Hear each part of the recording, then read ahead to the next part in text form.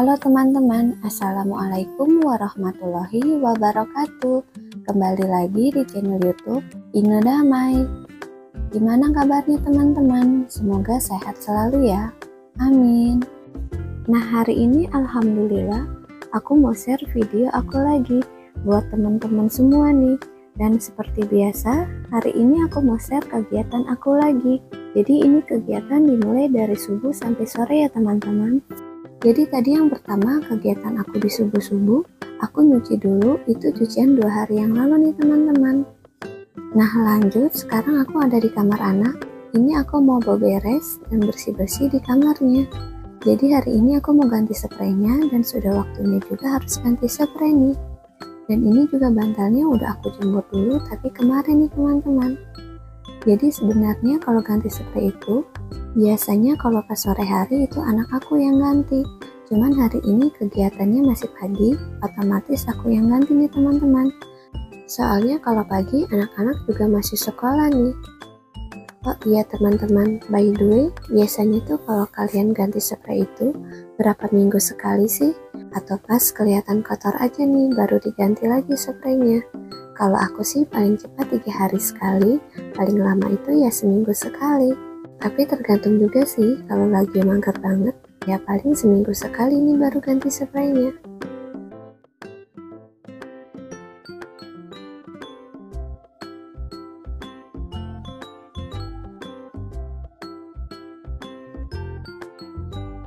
Dan ini juga bantal gulingnya aku ganti juga, dan nanti selimutnya juga aku beresin nih teman-teman.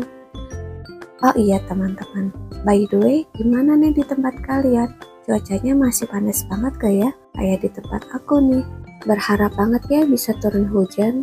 Soalnya tuh Masya Allah panasnya.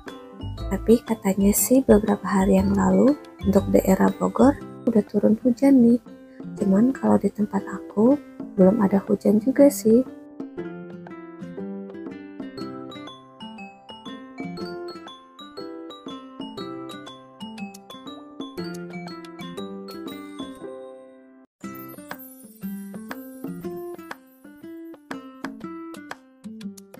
Nah lanjut sekarang aku beresin juga bantal-bantalnya yang tadi udah aku ganti dan aku tata lagi nih ke tempatnya. Nah kalau udah beresin kasurnya jadi terlihat rapi ya teman-teman.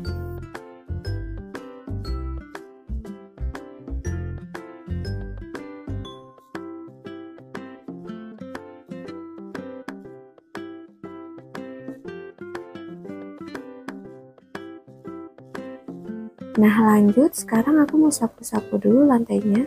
Ternyata berdebu dan beres juga nih. Ya namanya juga kamar anak-anak ya teman-teman. Kalau lagi mager, mereka tuh suka males banget buat bersih-bersih gitu. Mungkin kecapean di sekolah juga kali ya. Pokoknya kalau habis pulang sekolah gitu, mereka itu langsung makan dan rebahan gitu. Dan untuk ngepelnya seperti biasa tetap di sore hari ya teman-teman. Nah ini sudah selesai sapu-sapunya, lanjut aku tata kembali nih karpetnya.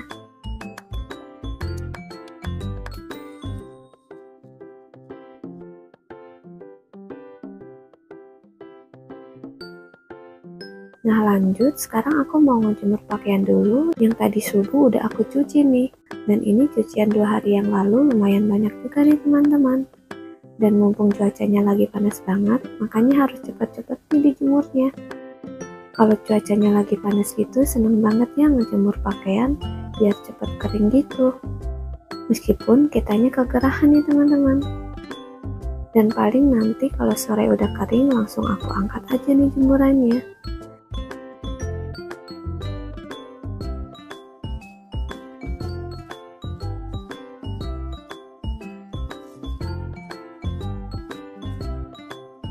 Jadi ini kayaknya sekitar jam 8an atau jam 9 gitu aku lupa deh teman-teman. Tapi masya Allah panasnya udah terik banget ya. Kalau cuacanya lagi panas gini suka mager banget nih untuk keluar rumah. Panas banget soalnya. Tapi kalau nggak keluar rumah kasihan juga anak-anak. Jadi kalau untuk jemput anak-anak sekolah aku tiap hari yang jemput. Kecuali kalau suami aku lagi libur nih teman-teman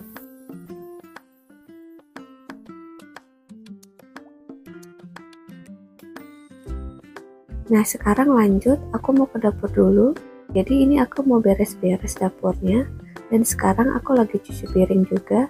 Jadi ini cucian semalam dan lumayan banyak juga nih teman-teman. Meskipun banyak tetap harus dicuci nih. Nah ini kegiatan wajib yang harus dikerjain setiap pagi dan sore nih teman-teman. Nah semalam tuh aku mager banget untuk cuci piring.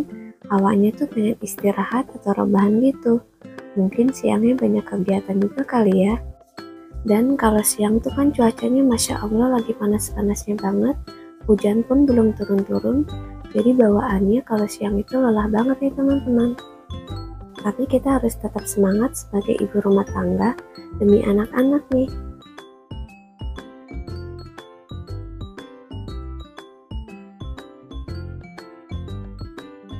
Nah ini sekarang aku lagi lap-lap aja area setelah stafel dan kompornya. Jadi kalau di area sini pasti tiap hari harus dibersihin, minimal dilap-lap aja. Dan ini kompornya juga aku lap-lap aja. Kalau kompor memang tiap hari harus dibersihin atau dilap-lap gitu. Soalnya suka banyak pecak-pecak minyak gitu kalau habis masak itu teman-teman. Nah ini aku lanjut mau sapu-sapu dulu lantai dapurnya. Dan ini kesetnya aku angkat dulu dan ternyata ngeres juga nih. Oh iya, by the way teman-teman, hari ini lagi apa nih? Udah pada beberes dan masak belum nih? Kalau aku hari ini nggak masak dulu, soalnya mau makan di luar juga sama teman-teman sekolah anak aku.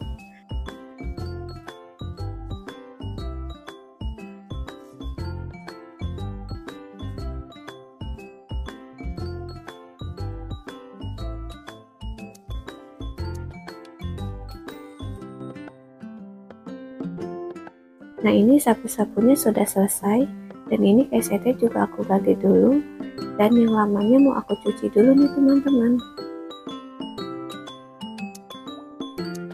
Nah sekarang lanjut kegiatan di siang harinya nih teman-teman. Jadi ini aku lagi di rumah teman aku soalnya anak aku mau les juga nih dan ini habis pulang sekolah gitu. Jadi tuh kemarin anak aku ulta terus pas les dikasih kejutan gitu sama teman-teman lesnya disuruh tiup lilin dan sama makan siang aja. Meskipun sederhana kayak begini, tapi anak-anak tetap happy nih teman-teman. Nah sekarang lanjut, Alhamdulillah aku udah sampai rumah lagi nih teman-teman. Jadi ini kegiatan di sore harinya, dan tadi tuh habis pulang les anak, aku langsung beres-beres aja. Tadi udah aku sapu-sapu juga, cuman gak aku videoin aja nih teman-teman jadi ini aku videoin yang lagi ngepel aja. Dan ini aku lagi ngepel kamar anak dan sekarang aku juga lagi ngepel dapurnya. Jadi sebenarnya semua ruangan itu aku pel-pel cuman gak aku videoin aja nih teman-teman. Jadi ini kalau nggak salah sekitar jam setengah empatan deh. Oh iya teman-teman. Gimana nih? Udah pada bersih-bersih rumah lagi gak di sore harinya? Apalagi masih tidur siang nih kalau aku untuk tidur siang tuh agak susah Kecuali memang ngantuk banget baru deh aku langsung tidur.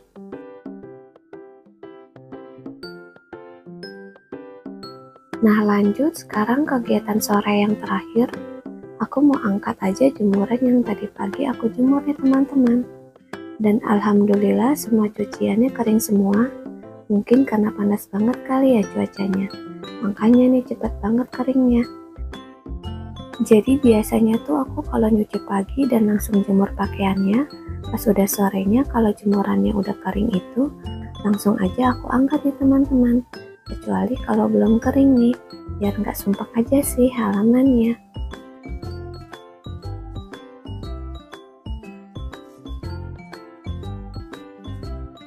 Oke teman-teman, sekian dulu ya video aku hari ini. Semoga menghibur.